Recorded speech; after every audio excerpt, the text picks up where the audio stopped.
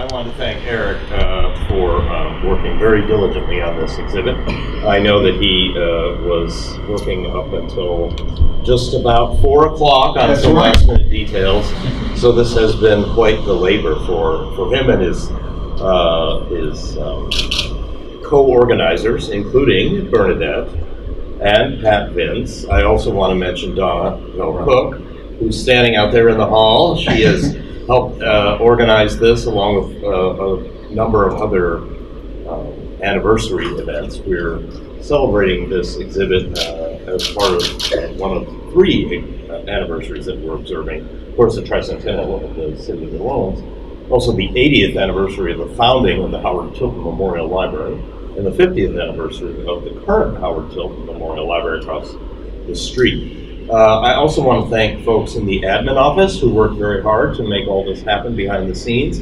Dorothy McKendrick is here. Uh, thank her for making Marla Bennett uh, the uh, assistant. She is not here, but she did quite a lot of things to uh, to make this move forward as well. So thanks to those folks. Uh, it's my pleasure to introduce and welcome Liz Williams. Liz is the founder of the Southern Food and Beverage Museum uh, and the president of the National Food and Beverage Foundation. Sounds like a great job, actually. Liz's research and writing centers on issues related to the culture of food and drink in New Orleans. She also writes and consults about food museums.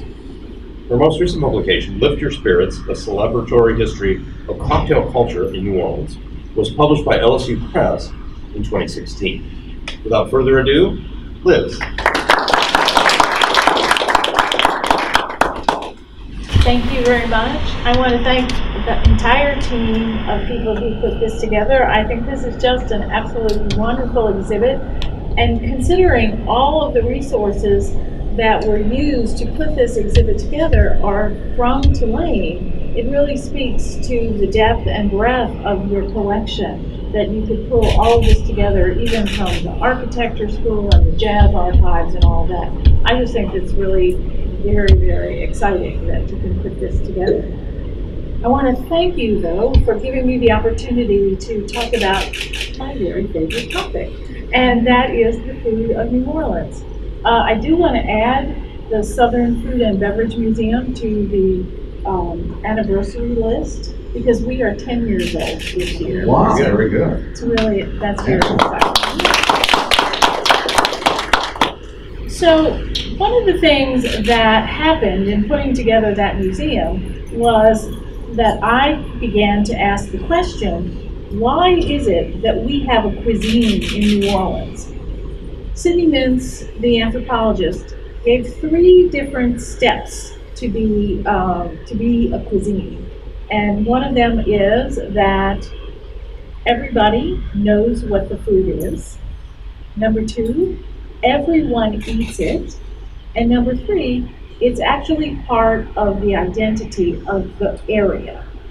And I think that definition was written for the food of New Orleans. Um, we, and I argue this every time I do it, other, other than in New Orleans, people argue with me. But I claim that we have the only cuisine in, only city cuisine in the United States. There are many other places that have a fabulous food culture. If you go to New York, you have this great array, of restaurants to eat from, but there isn't a cuisine that you can talk about that is the food of New York. Here in New Orleans, we can talk about our food. And even in other places in the South, say Charleston or um, Savannah or any of those places, or someplace like Boston, you can name dishes that you associate with those cities. But there is not a complete cuisine that is built up in those cities. So I wanted to know why that was the case. And of course, it has to do with 300 years of culture and 300 years of layers of peoples and all of that sort of thing. I don't deny that.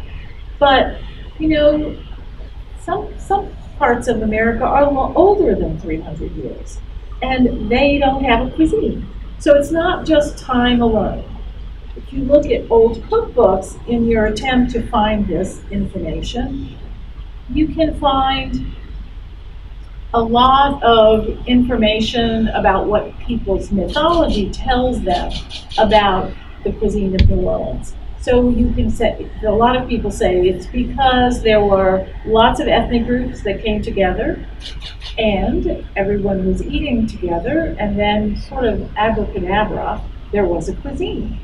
But those same ethnic groups came together in other cities, and there was no abracadabra there. So somehow there had to be some other thing that made us have a cuisine and not other places. So I began to look for that.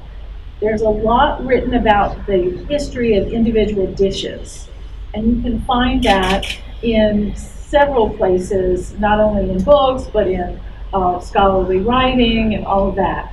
But I wasn't looking to define the history of the po' boy or the history of gumbo or anything like that. I wanted to know why we had a cuisine. So I did a number of things. I started to read. I'm a lawyer by training, which means that we think we can do anything. and um, so I said, well, sure, I can figure this out. And uh, also, um, I did a little bit of, of empirical research. A friend of mine and I got very dressed up we carried briefcases and we went into an elevator in downtown New Orleans and we stepped in and out of the elevator. Now, you know what the protocol in an elevator is. You stand there and you face the door, and if you're not right in front of the door, you still stand and face the door and look at the head of the person in front of you you don't have a big conversation. And of course, the more people there are in the elevator, the more likely you are to fall silent. so we had this worked out where one of us would say to the other, no, I think the best po' boy is at blank. And then we started this argument over and over and over again in one elevator ride after another, no matter who was in the elevator. And everybody in the elevator began to enter into our conversation. Nobody hesitated. Nobody thought, oh, I can't interrupt them or anything like that, because everybody thought that they had an opinion, and everybody knew that their opinion would actually be heard. And it's really true. So this was the janitor who pushed the mop bucket and the mop into the elevator to go from one floor to another who felt just as entitled to, give an opinion as the people that were all dressed up going on their busy way to their offices or whatever. We probably did this about 25 times. Certainly not a scientific study, but it happened absolutely every single time. And when a new person would, we rode all the way to the top and all the way down. So when new people would get into the elevator and the conversation was going, as soon as they had listened enough to figure out what was going on, they would enter into it too. And if somebody didn't enter into it, I would often ask, and what do you think? And usually that was somebody who wasn't from, and they just didn't have an opinion. So based on that, I felt really confident that our identity was based on food. I was also confident that everybody ate it. And I think that that's one of the things that really joins us all is that we know that whether you are a trained chef, whether you are an accomplished cook, or whether you have this, that, or the other credentials, you probably know something about food that we don't know, and we want to know what you know. I have overheard in the bus people talking about whether they sweat their green peppers before they put in the celery when they're making their gumbo. Now, this is a great detail, mm-hmm. but who talks about this except people from New Orleans? Or maybe chefs, but certainly the people from New Orleans. All of us are not chefs. And yet, we talk about these little details because we know it's going to make our food better. Okay, so how did we get to be this way? That is always the, the bottom line. How did we get to be this way? So, we have food, and let's look at gumbo as a way to talk about this. I'm not going to tell you that we have a gumbo of people here because that's too cliche. But I will tell you that there are three thickeners in gumbo. And I think that gumbo are the thing is is the quintessential dish. So if you think back before refrigeration, not that you can actually remember, but think in, in your imagination back about refrigeration before it happened, you ate with the seasons. And if you look at older cookbooks and in recipes that have appeared in the newspapers and all of that, you will see that if you put okra in your gumbo, it usually was coming to fruit and able to be harvested around the same time as shrimp and crab were running. And therefore, you used okra as the thickener in your gumbo. Not every gumbo had a roux. The concept, first you make a roux, is a 20th century concept. Before the 20th century, there were three thickeners. So gumbo with, with okra, and okra as the thickener, represents Africa. We got our gumbo, I mean, we got our, our okra from Africa, and the word gumbo means okra in some of, uh, it's not pronounced exactly like that, but um, the word derives from certain West Indian language, uh, West African languages, and if you say gombo in France and you're asking for gombo, you're going to get okra. So there is there is the first thickener, and that is okra. Second thickener is, and they're in- in no particular order here. Second thickener is filé. If you look at certain recipes of our native people, you will see a, whole cup of filé that is put into a gumbo. So that is our American, and so I'm talking continents here, that is our American contribution to, to gumbo. Now, you can make that soup. It was certainly not called gumbo in the beginning when the uh, native people made it, but it is something that has come into being merged with what we now call gumbo. And then you have the European contribution as a thickener, and that is roux. And that is because it uses flour, and there was no flour in the New World before Columbus because we didn't have the wheat here. So all three of our thickeners provide um, they provide flavor as well as thickening. So, all right, this is an example of all the, the ethnic groups, if we can say, that contributed to creating the um, the food. However, it still doesn't answer the question: Why did we develop a cuisine? So, this is my my theory during the time that we were founded in um, in France during the Age of Enlightenment, they applied reason, which of course it's also called the Age of Reason. They applied reason not to religion, not to government, not to uh, literature or science. They applied it to the arts, and one of the arts was was the culinary arts. So they considered not only eating, but also cooking to be an art. So every art, on their logical um, study or their interpretation, the art of, say, making music had to have a listener. So you had to be educated in how to listen. So the same thing was true with food. You have the art of making the food and the art of tasting and appreciating the food. So that mindset came to New Orleans when it was when it was created.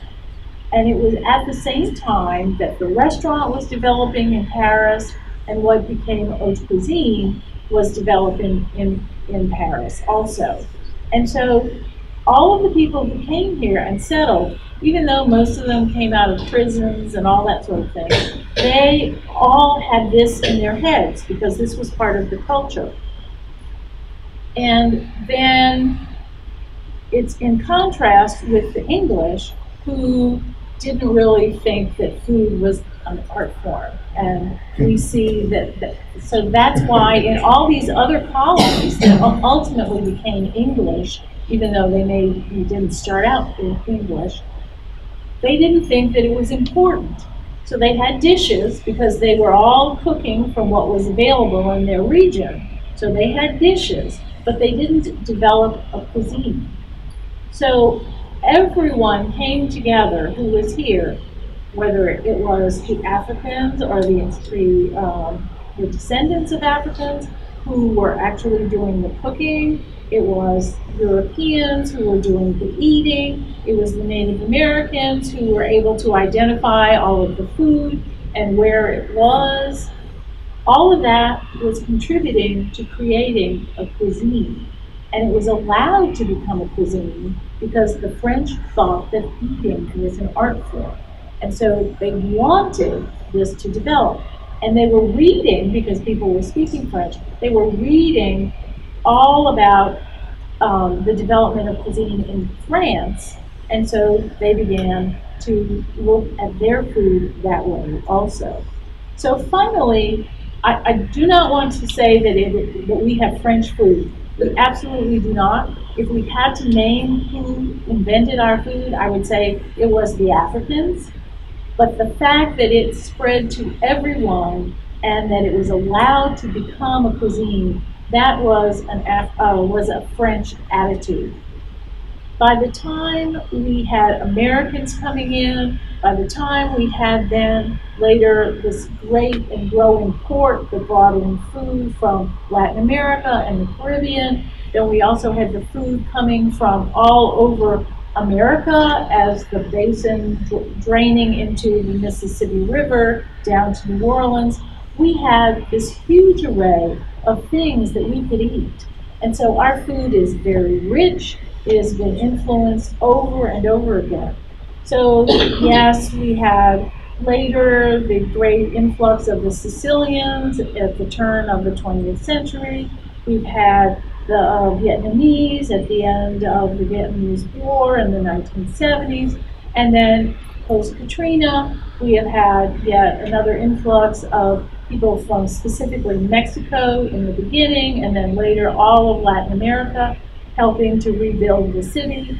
All of these influences continue to be sucked into our food and we creolize it. And we don't just let it stay isolated and on its own. I think that that dynamism is what makes our food system so rich because it's continuing to change as our influences change. And I think that we're just so fortunate to be here. Yes, in addition, we have great bounty in this area. All of that is really an important part of us having this cuisine. It was Lafcadio Hearn who called it Creole cuisine. Up until then, it was just food. and then we had a name for it, and so that allowed us to be in contrast with everyone else's food. And and since then, I think that we have just cherished it. One more story, and then I will let you go eat. Um, we at the Southern Food and Beverage Museum were not open yet prior to Hurricane Katrina. We were making plans to be open, but we already had a website. So after Hurricane Katrina, when we had that diaspora and everybody was all over the country, we found that people would write to us and they would say, I can't find red beans. And I'm living in Minneapolis, and all they have are these things they call red kidney beans, they're not the same. or, I can't find filé at the grocery store. Where do you think I can find filé? And I can't find red drink, and I can't find who knows what. And, um, oh, coffee and chicory, that was also a big one. And so we, we could see how much people wanted to eat their own food, partly out of comfort because they were displaced and it would remind them of home, but also because it was better than the food that they so we are all people who still cook, and since food is a social invention, I'm not mentioning restaurants by name because those those restaurants aren't inventing our food. They invent dishes or whatever, but our food is socially created. And that's why I can go to your house or your house or your house, and your gumbo is going to be different from mine, but I'm going to know that it's gumbo. And I learned something about you because I eat your gumbo. And it means that we can then share in the fact that we all eat gumbo, even though everybody's gumbo is different. So I leave you with that idea. I want to thank you and say, let's eat.